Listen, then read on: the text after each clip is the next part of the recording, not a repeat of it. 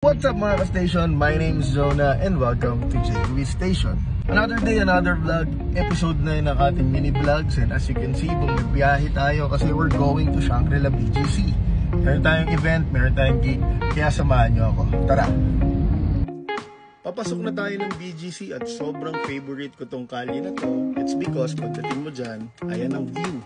Parang ibang lugar, di ba? Pagdating naman sa hotel, ito yung favorite spot ko kung saan tayo naghihintay ng other musicians pero we need to go straight to the sound check. Nasa stage na tayo niyan but last minute nag-decide yung mga directors to move us to another spot so another sound check and another drum cam testing. Ayan, nalaglag pa yung drum cam natin dyan. We have more than 3 hours of rest. Uh, kasama na yung dinner and preparation. Kaya sinubukan natin tong camera angle na to kasi marami nagsabi malakas daw makapogi. And of course, syempre titignan din natin kung marunong tayo magbihis.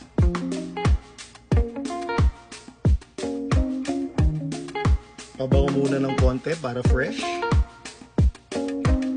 Checking the bow tie, but mga ka-station, I really hate bow tie, promise.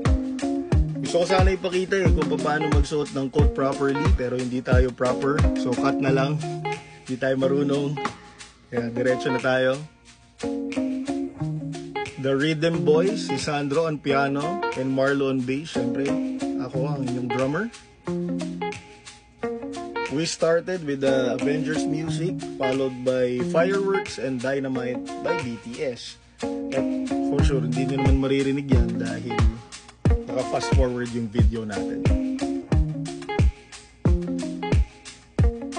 Yan, this is Miss Jerfil, ang ating artist for the night. Maraming maraming salamat sa music. And also, gusto kong gamitin yung opportunity na magpasalamat sa Manila Symphony Orchestra for having me under the baton of Sir Mickey Asinto. Maraming salamat guys. Solid.